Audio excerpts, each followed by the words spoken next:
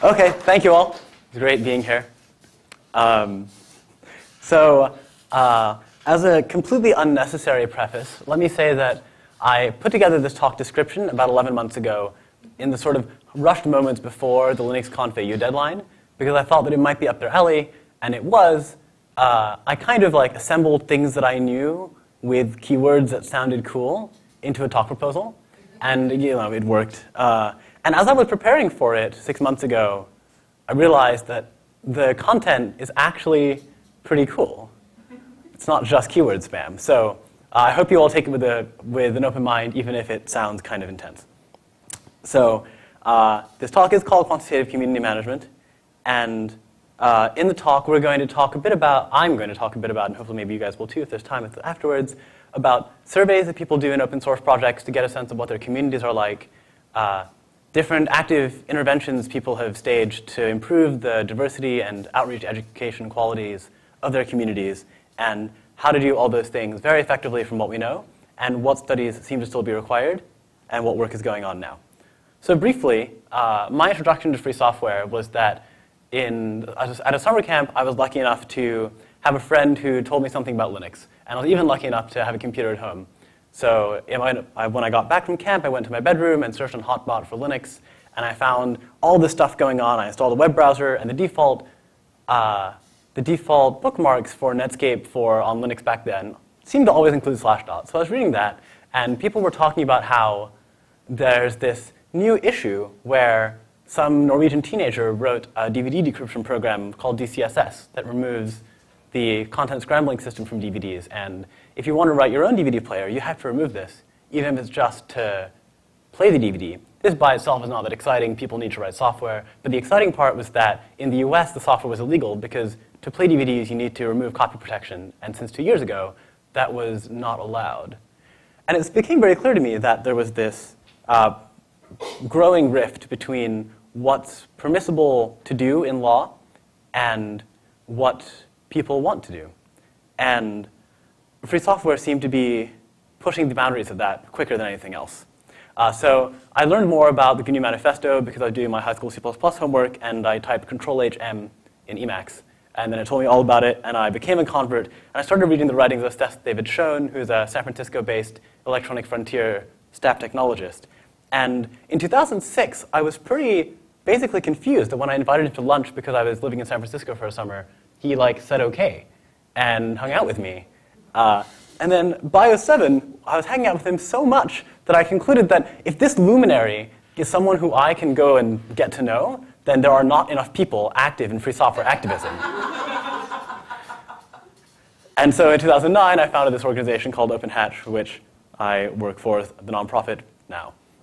So uh, in finding out what our community is like, this is, I guess, one approach to measuring that. There are other approaches, and the most well-known approach stems from 2001. It's called the FLOSS survey. Uh, it's by Ghosh et al. from III Maastricht, and it has all these lovely, uh, these lovely figures and charts. So this survey was an opt-in survey sent to users of SourceForge.net. How many of you have SourceForge accounts? Okay, cool. Uh, almost half or something.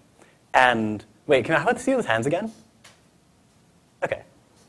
Uh, it, um, the, the survey was pretty long because these researchers wanted to know what drives people to create free software. How much time do they spend on it? Who are they? What are their professional backgrounds? What are their education, cultural, personal statistics? And we learned a few things from that survey. We learned that the motivations to develop free software, uh, primarily, it's to learn and develop new skills, according to the highest ranked option there. Um, sharing your knowledge, participating in a new kind of cooperation. Well, uh, the term open source was only two years old, three years old at the time. And uh, somehow to participate in the scene ranked reasonably highly too. Maybe that's why I do it, actually. But um, from that study, we also learned some demographic data. We learned supposedly that 1.1% of the people in the free software community that they surveyed are women. And when they reran the study, when other people reran the study with the US focus, they got this plus or minus 50% number, uh, which you know, is still pretty tiny. But I want to think a bit about the methodology again. So the authors of that study emphasize in their paper that rather than seeking out a narrow band of very well controlled people. They wanted respondents to come from all sorts of open source life. They wanted respondents to figure out for themselves if they should be considered developers. And uh, if you know something about things like selection bias or our stereotype threat, you might realize that if their goal is to analyze the entire community, it's not going to work this way. So these sorts of opt-in surveys have these massive bias problems, but the most exciting thing about them, I think, is that we just don't know how biased they are. Maybe uh, when the US survey went out, it was a three-day weekend, and that meant that people in Michigan who mostly do their open source as part of academia uh, could take a break from their research and answer this great email survey. I don't know, nor do the authors of the study. Uh, but there's a bunch of sort of general work on more about what the community looks like. People want to find out what open source projects look like characteristically. And one pretty good sample survey for that is the Who Writes Linux report run by the Linux Foundation. So uh, they run this, I think, every year. These numbers are from the Linux kernel 2.6.30. These numbers are especially interesting in that they are calculated based on the Git repository plus follow-on analysis. So in a way, there's no sample bias because they managed to cover all the Git commits. But on the other hand, if there's valuable Linux contributions people are making, for example, maintaining the kernelnewbies.org wiki or doing patch review on the kernel list, you're not going to see those in these figures. But at least they're precise. They're asking who writes Linux. So a bunch of people. Pretty cool. Turns out free software is a pretty uh, broad, uh, highly collaborative enterprise. But uh, not always. So if you, well, uh, I, so I have a question. And for those of you who know this figure, maybe don't answer. And the question is, what is the median number of contributors to an open source project? Uh, do any of you two want to guess? The median, right? So it's got to be greater than or equal to 1 and less than or equal to probably 1,150, since that's a highly, highly collaborative project. Four, I see. Any other numbers? Two. I'm open to more guesses. Any other numbers? I know it for real, so I'm not going to guess. All right, and I, I, see some other, some other grinning hands in the back. So let's look at a graph. Uh, if you look at all products on SourceForge.net, the, uh, let's say vast majority have one developer. Uh, I think you have to hit, well, you have to hit some pretty high percentiles to go even to two. But you know, this is silly, right? On SourceForge, I made this great project that I almost did no work on. That doesn't really matter. What matters on, is open source that people use, software that is categorized as mature and production ready. And you see the same graph, uh, at least on SourceForge. And if you look for projects that are at least downloaded in the very high percentiles, not just where they're supposedly ready for people to use, but where they're actually used by people, then you see basically the same graph. Uh, the median is still 1 over here. This entire figure is greater than the sum of that tail. Similarly, in other collaborative enterprises, uh, there's this, there's this uh, children-oriented programming language called Scratch, where all projects in Scratch are made inside an interface that ensures collaboration is possible. Because the, can, every project has an edit link. Every project can be forked and worked on independently. There's no requirement to sh share things upstream if you want to be counted as someone who's made a derivative work. So you know, you might say that perhaps the problem with SourceForge is that it's too hard to get involved. It's too many uh, submitting patches by email or into the bug tracker or the patch tracking system. But if you look on Scratch for projects uh, that are at least one year old, you see the same graph. Uh, but you know, for Google Code uh, or other, other enterprises where they're newer than SourceForge, maybe GitHub, people are probably more collaborative on those. So uh, this is what Google Code looks like in terms of median numbers of contributors, and there's a bunch of these, right? These are just the active projects. These are the projects on GitHub that are public. And my favorite thing about this graph is that here developers is so liberally defined as to mean even somebody who's watching the repository, who started. Uh, this looks at least as bad as that original SourceForge graph. So I don't know, maybe open source isn't a very collaborative enterprise after all. I want to go back to the Ghosh survey and ask some questions.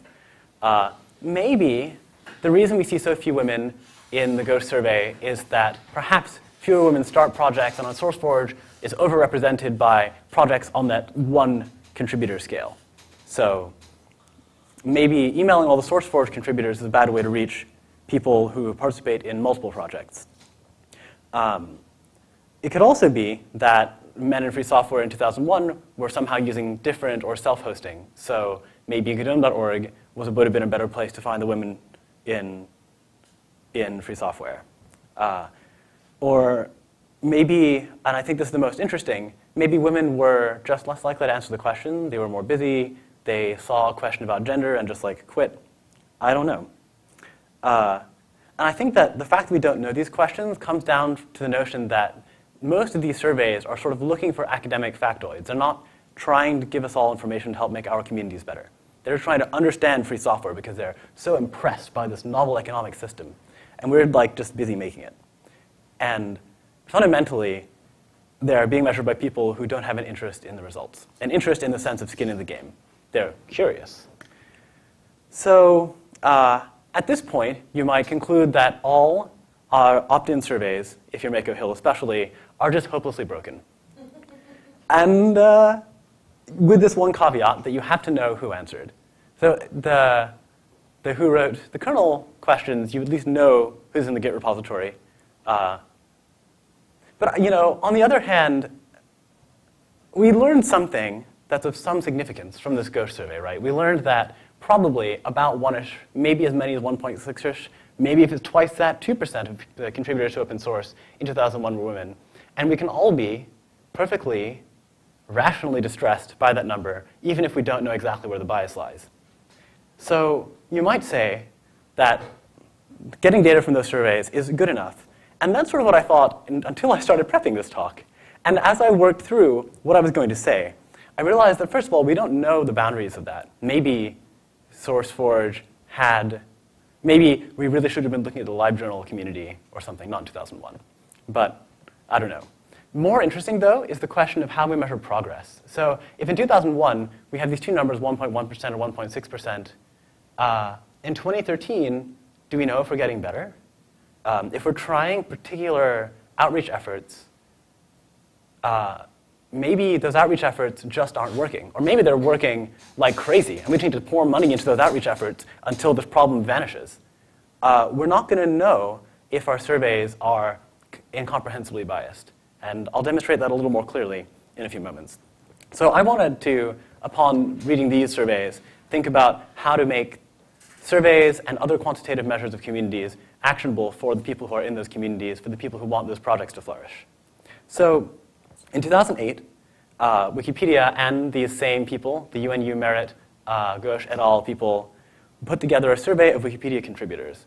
And it was another opt-in survey. It had all the methodological problems of the 2001 survey, uh, it was at the top of every page if you were logged in, I guess, on Wikipedia. I know that I didn't see it. It's been five years, so it's probably unfair to ask you guys if you saw it. But um, they wanted to answer questions basically relating to the relationship between Wikipedia and the Foundation, plus find out who these editors of Wikipedia are. And maybe we can get some bounds, at least, on things like gender diversity.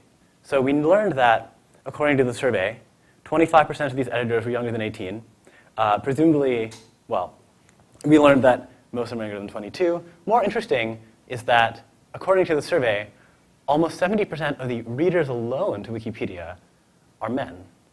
And according to the survey, men are also dramatically overrepresented in the editorship. But also, more than a quarter of the people who read or edit Wikipedia speak Russian as their primary language.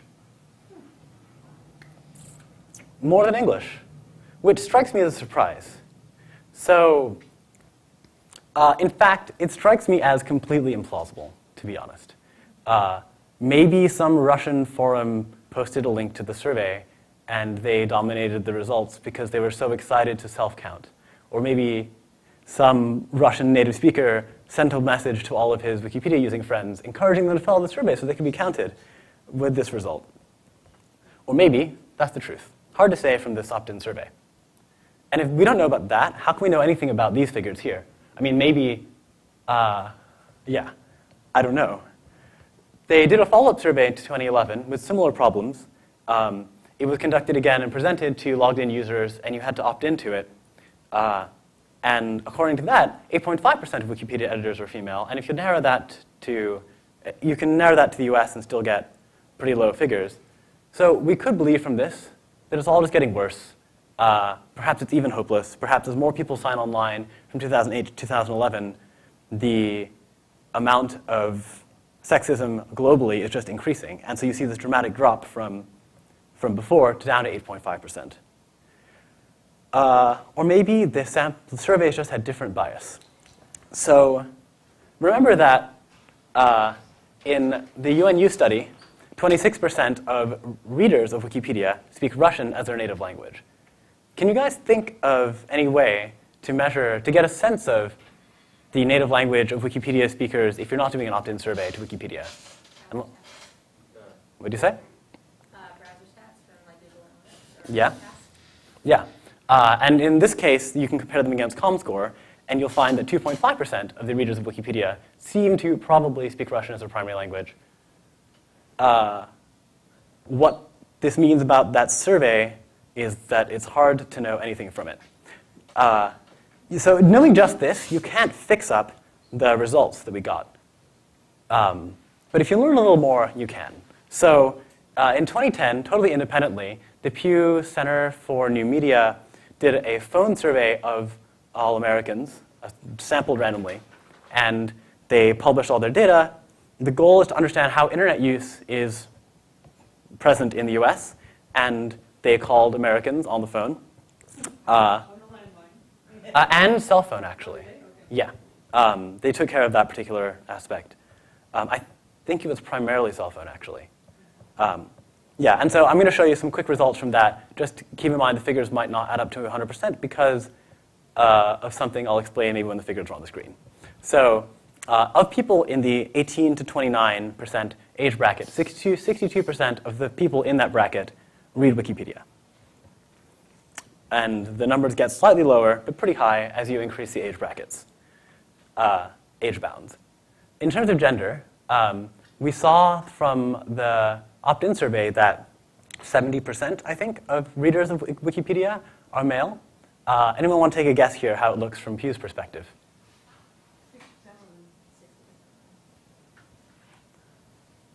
Pretty close. I mean, it's like basically you could average those and get 53-ish percent women.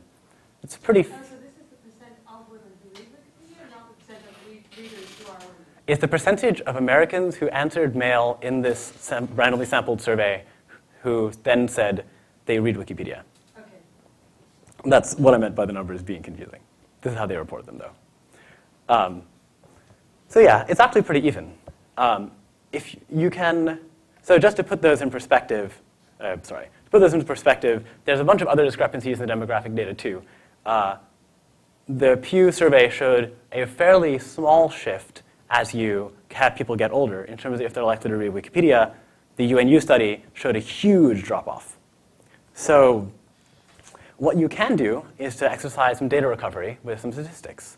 So you can build a logistic propensity score for which I can't do it myself, but I can go read the paper and get Mako source code in R.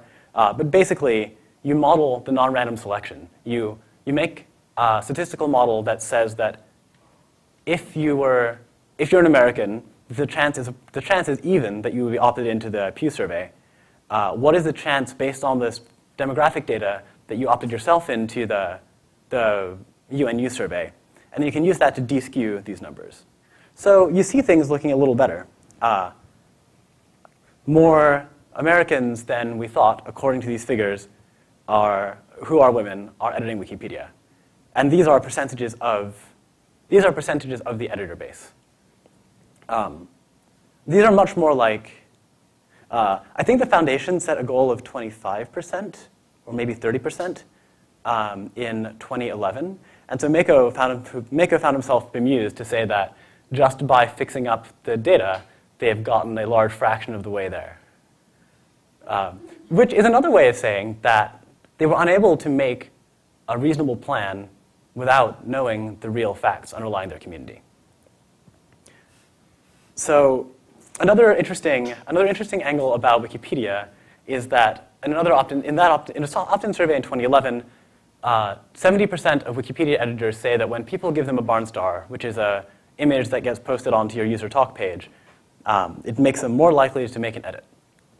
But uh, Mako and Aaron Shaw did some different, dis- did some distinct research not on what people say, but what they do. And uh, if you measure the edit rate in the five weeks after people receive a barn star, you find that there's two categories of people, but net, people decrease their editing, editing activity by about 1.72 edits per week. Uh, but there's this very clear distinction you can draw, which is that so barn stars get put on your user talk page, and uh, people who are totally aware of how Wikipedia user-to-user chat works will know and will read the text that says just cut and paste this blob of wiki text from the user talk page into your user page to like be so proud about your new barn star, or at least remove it from your user talk page. The people who moved or, or removed the barn star saw themselves as doing three more edits per week for the next five weeks, and those that didn't remove it do less.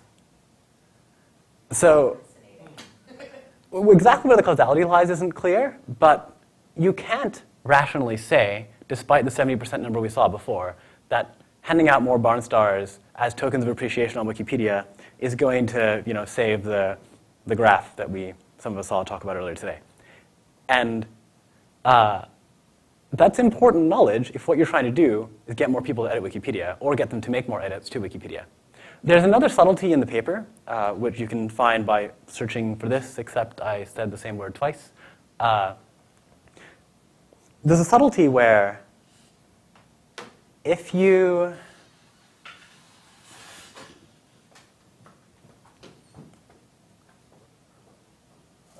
whatever, I've lost it, it's fine.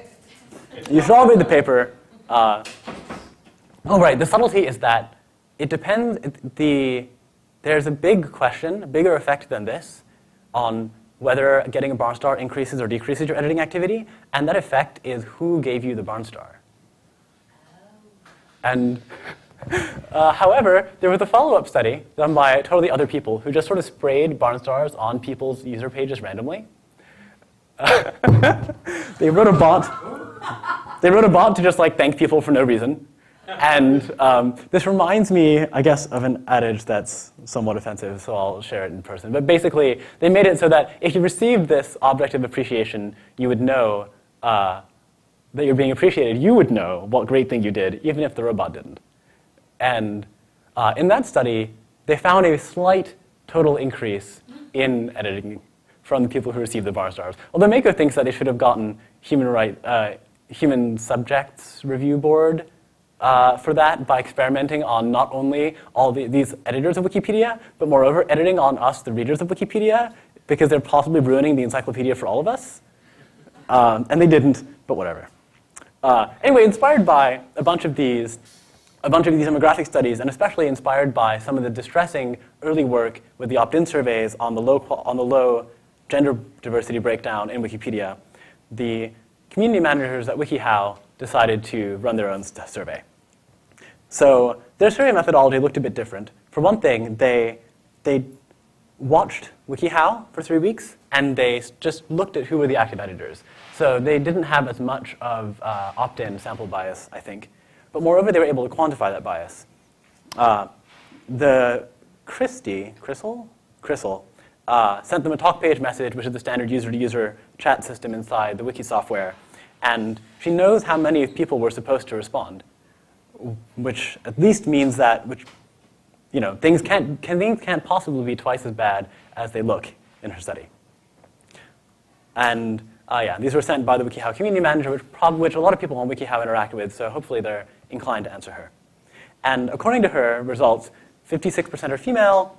Um, the majority of WikiHow editors, according to this survey, are like teenagers younger than 16, which was intriguing uh, and not something that she was considering at all. Um, now, on the other hand, oh yeah, the, and the older the contributors, the more likely they are to be male. Um, I want to to narrow a bit on this notion here, the older contributors tended to be male on WikiHow, with this graph embedded. Dude, I have a mouse. This is great. So uh, she actually broke down people in, based on how active editors they are. And the, in this, in, if you imagine this pipeline um, where there's more new editors who are women than who are men, uh, these are sorted by something crazy, ignore the sort. Uh, so if they get to the point of doing 25 plus edits, there's a huge drop off, right, from this male heavy perspective, from this female heavy perspective. Why so few do they make it through here? Um, now, admittedly, there's, she's still missing about half the users, but this is a pretty helpful graph because it suggests that there might be something that matters to some class of users about the edit interface that doesn't matter to other classes of users. And um, then as you get more and more, uh, I mean, I, I think that basically these ratios are the same. So I think almost all the drop off occurs in this range here. I don't know why. But on the other hand, maybe it, all, maybe it just means that the like 12 year olds who sign up, who are mostly women, mostly don't edit much.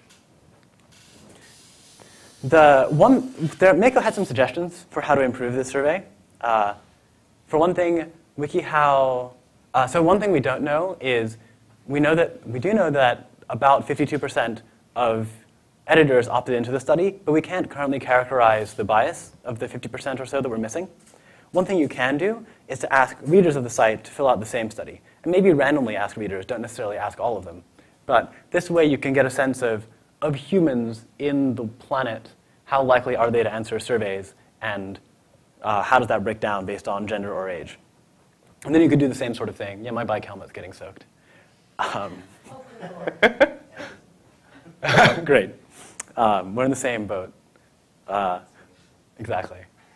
So, um, yeah. So then you, then you could fix up the survey results in a similar fashion.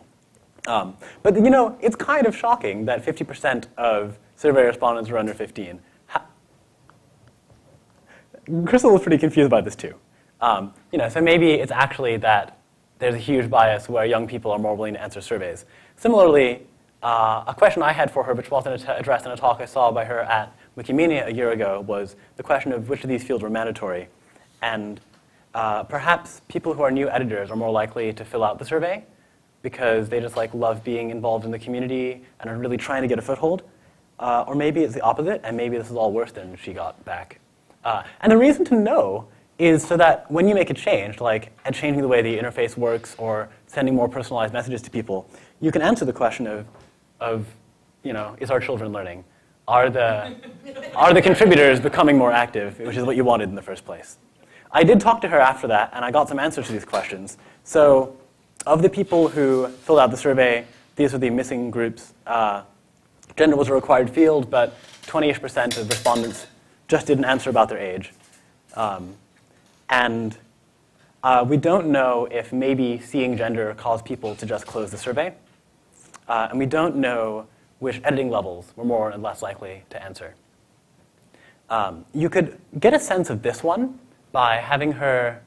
Oh, uh, this one you can figure out from the data she has because she has all the usernames and she can generate those graphs for all the people who didn't answer um, and like add some cute error bars to those graphs. Uh, so that's WikiHow. Um, that's one place. It's a slightly freely licensed encyclopedia. It's not really an open source software project.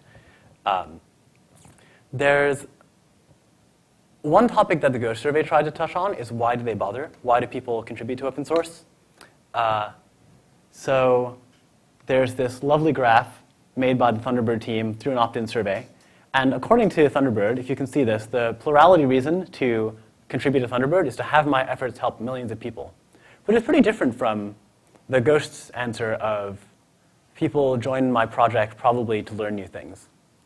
Uh, so if you're the Thunderbird team, this suggests that you should put this front and center on your new contributor documentation. You're helping millions of people, and you shouldn't necessarily spend all that much energy on uh, learning new skills, because if anywhere, that shows up somewhere out here. Uh, alternatively, you could believe that the people who just want to show up and learn new skills try to contribute to Thunderbird, fall off this massive, steep on ramp, uh, veer off to the side, and don't get around to filling out the survey. Uh, but at least what I hope you'll see is that different communities have, the people in different communities have different rationales for participating. So knowing the broad sense of it from the academics won't necessarily help you. Uh, And in fact, you don't even really know what will cause people to change to do more work unless you run some experiments. So, a mouse. A mouse.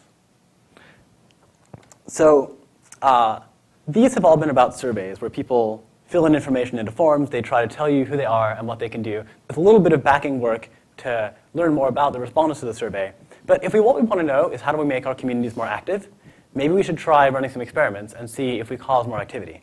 So I think that the GNOME Women's Outreach Project, in a way, is the first free software behavioral study that I know. In 2005, the GNOME Foundation received, uh, yeah, um, I think, yeah, in 2006, initially, they had received, of 181 applicants uh, for Google Summer of Code, can anyone guess what percentage of these were men?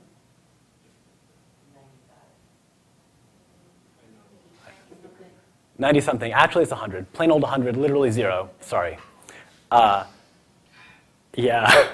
it sounds really bad. Um, but it's really just a matter of sample bias. You can consider the sign in, the, the form to apply to Google Summer of Code, kind of like these opt in surveys, where the information gets spread through random channels. Uh, there's some process by which people learn about the program at all. And if you do something like start the same, the very same event with the same structure of paying students to work on code in GNOME with the process of it being mentored by a module owner over the course of the summer, uh, you can have very different results. You can have 100 new applicants to your not Google Summer of Code, but Women's, Software, Women's Summer Outreach Program. Uh, I'm just like blown away by this because what a great job Hannah and Chris did of running a behavioral study where they altered the text around the very same activity and totally blew the old results out of the water. And yeah, it's the very same model Google Summer of Code. Summer funding was the same amount. They got their money from companies that wanted to support GNOME. Uh, not Google in that case at the time, but uh, Google has supported more recent versions of this program. Um, if you had just surveyed the 121 people who applied, I mean, obviously you would find zero women, and things that you would know about how they found out about that particular Google Summer of Code wouldn't apply to the other people you want to include in the first place. So um, one, there are some things we don't yet know about, oh yeah. Uh, there are some things we don't yet know about the Women's Summer Outreach Program. So we don't know if these community members stick around more or less in the community. There's a bit of work going on by Kevin Carillo to survey newcomers in open source communities and find out uh, what makes their experience more and less good, and do some other work behind the scenes to find out if they stick around. But his survey was an opt-in survey, so we'll have some limited insight from it. Uh, but still, we can begin to ask these questions, and maybe by knowing the answers to this, we can break them down and say, oh, actually, there's this particular university, there's these particular universities in Romania and in Arkansas where contributors have a huge retention rate.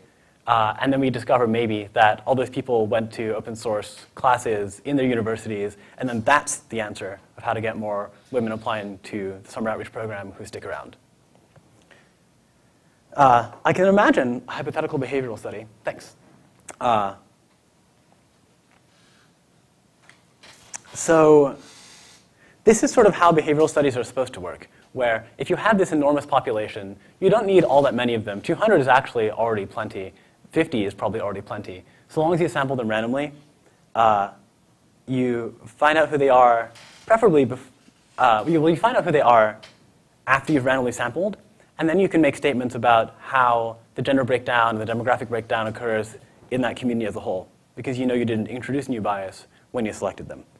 Uh, and if you wanted to uh, do this on GitHub, for example, then you might have a, a, a sense of how active and inactive, how present and not present various demographic groups are in the free software community. So I think that this, rather than the opt-in survey, would be the tool to use to find out the current state, and maybe to do it again every other year to track the progress up or down, uh, hopefully up.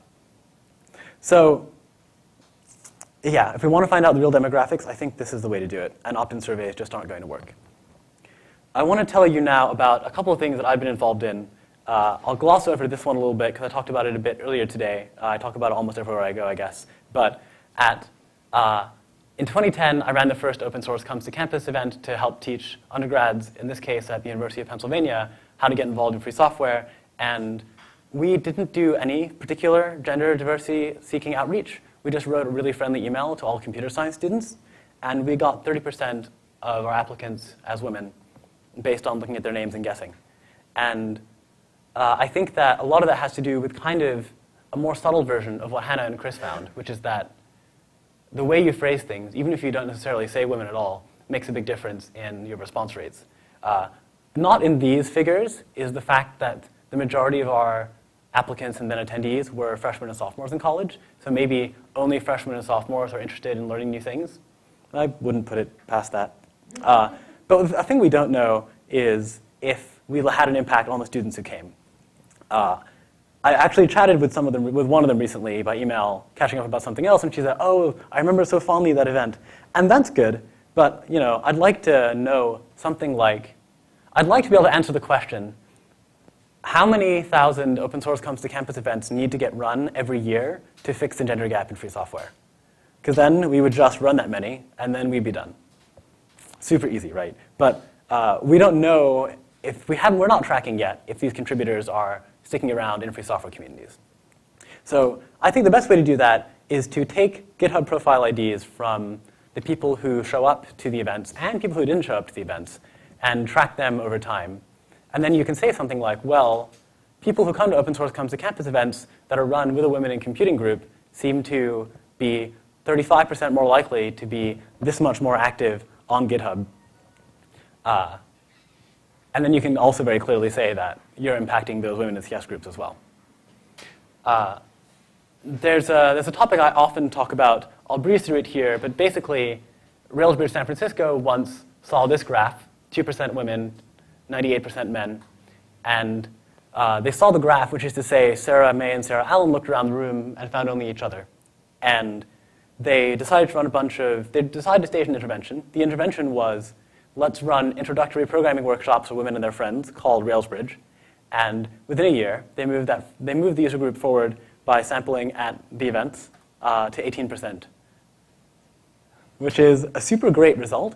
And so it seemed like the kind of thing that I wanted to clone to see if I could reproduce the wor work. I could, uh, and there's been a whole bunch of spin-off events.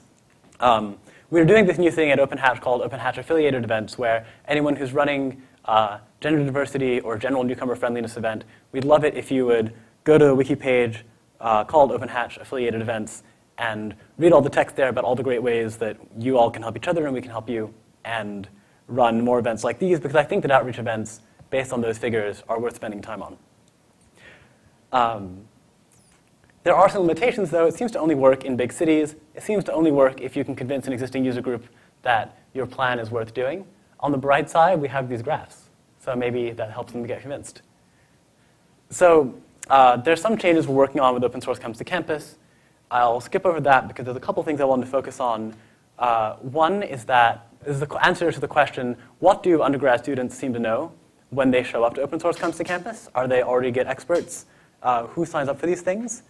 Uh, what is the impact on changing gender from a male-female option box to just a plain text field? And I was sort of on the wrong side of history a year and a half ago or so.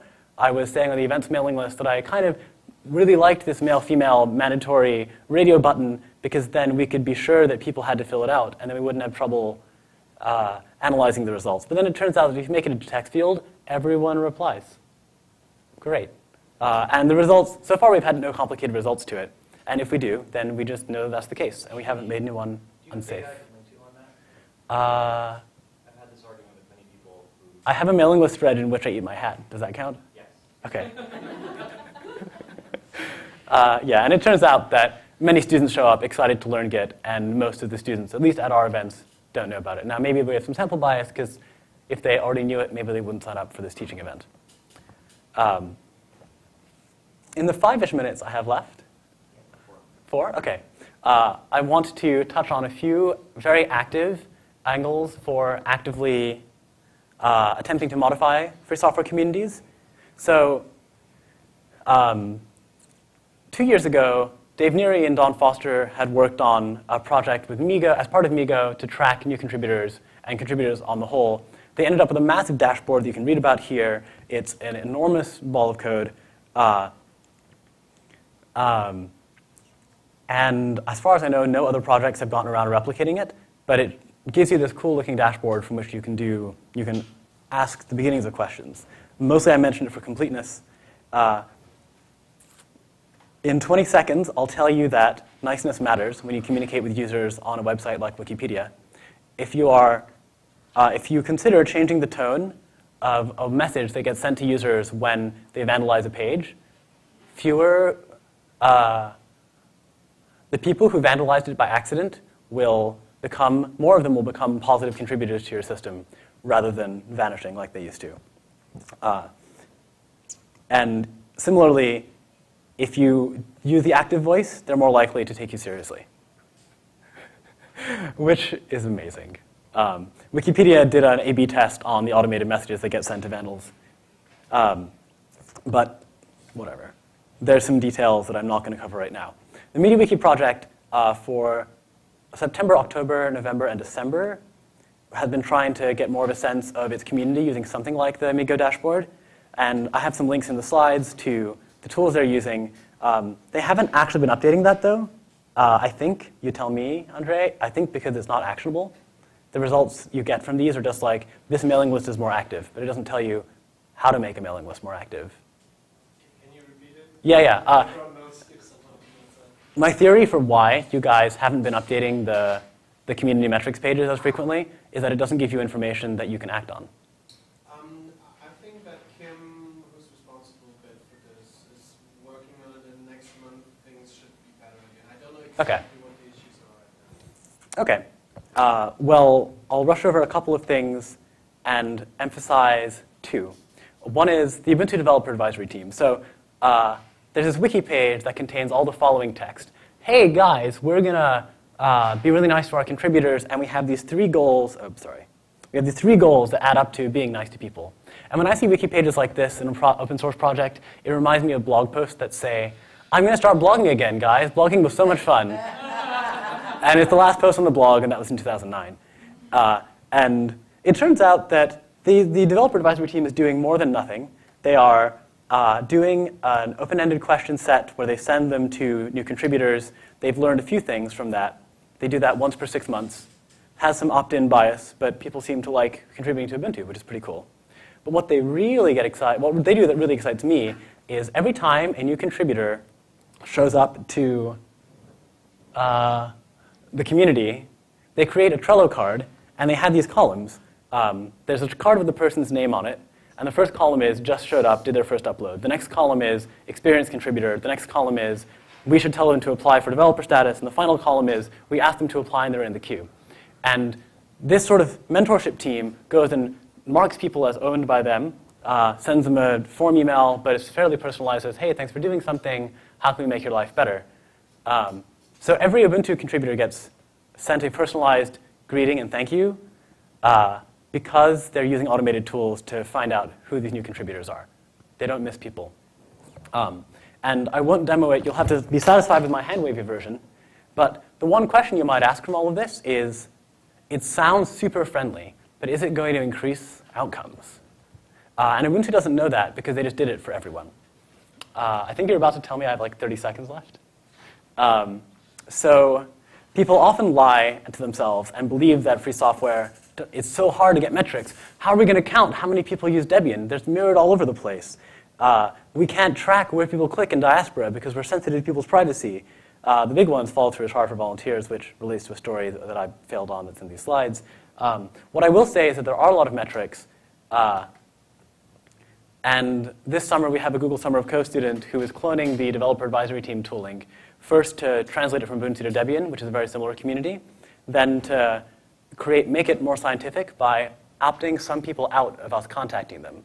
If we're, in a way, if we're lucky, what we'll find is that contacting new contributors is just a waste of time. It doesn't improve outcomes, and we should do something else. And if we learn that, then we can go off and find what that something else is. And then once we're done with that, if once Dave Loot is done with that, we'll make it generic and offer import for other data sources for other projects so that you all can make amazing automatic contributor tracking dashboards that uh, make your skin crawl a tiny bit but bring results. so uh, I'll skip over the meta organizing. Um, I have plenty more to talk about on this topic. Um, I'll mention that I'm very interested in helping Google Summer of Code mentorship get better. And I want to run a study there, but I seem to be running out of time, not just here, but in my life. So if you want to help me do that, I can totally use it. Uh, thank you. Uh, there are some other resources in the slides, but the big thing I want to say is that you should do something. You should find some aspect of your community you want to measure and work with me or other people to measure it. There's a great community at list.openhatch.org slash events, which includes social scientists, statisticians, and free software advocates who will help you run those studies. And if you're a company that thinks this stuff is pretty cool, then you should totally help us, help fund us so that we can run these events and run these surveys so we can help answer the questions of how to make free software communities better with science. Thanks.